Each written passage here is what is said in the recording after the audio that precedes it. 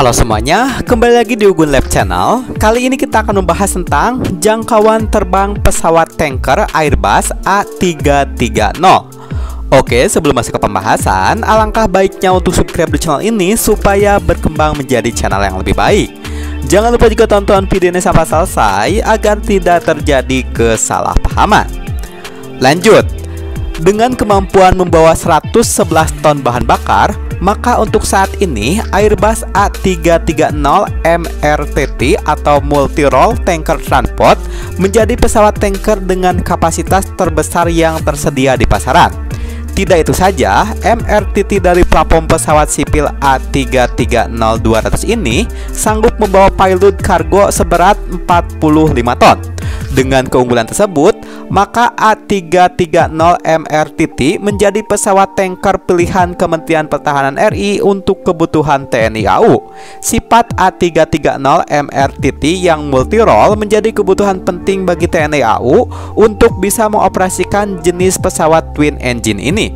Dalam aspek pegelaran operasi sebagai pesawat tanker, A330 MRTT dapat menyusui semua jenis jet tempur Selain jet tempur yang menggunakan probe seperti Sukhoi Su-27 atau Su-30 dan Hawk 209, tapi armada F-16 bahkan F-15IT termasuk KF-21 dapat ditangani pengisian bahan bakarnya berkat adopsi teknik boom. Ciri khas dari A330 MRTT yakni hanya mengandalkan bahan bakar dari kapasitas tangki internal untuk disalurkan kepada pesawat penerima atau receiver. Untuk itu, jangkauan terbang pesawat akan langsung berpengaruh pada jumlah kapasitas bahan bakar yang dapat disalurkan. Dalam konferensi pers seputar A330 MRTT di Jakarta, Airbus Chief Representative Indonesia Dani Adrianta memberikan ilustrasi menarik untuk dicermati dicermati. Dalam grafis ini diperkirakan dalam grafis ini diperlihatkan perkiraan kapasitas bahan bakar dari A330 MRTT yang tersedia untuk disalurkan ke jet tempur penerima yang dikaitkan dengan jangkauan terbang A330 MRTT semakin jauh jangkauan terbang maka akan semakin sedikit jumlah bahan bakar yang dapat disalurkan. Selain perannya sebagai pesawat tanker, A330 MRTT dapat diubah menjadi konfigurasi angkut pasukan, medical evacuation, sampai PPIP. Muatan kargo 45 ton dapat dibawa dalam 8 military pallet. Bila disulap sebagai pembawa personel, A330 MRTT dapat membawa 380 penumpang konfigurasi single glass. Dalam kondisi mendesak, Airbus A330 MRTT dapat disulap sebagai medical evacuation 130 usungan standar dapat dibawa.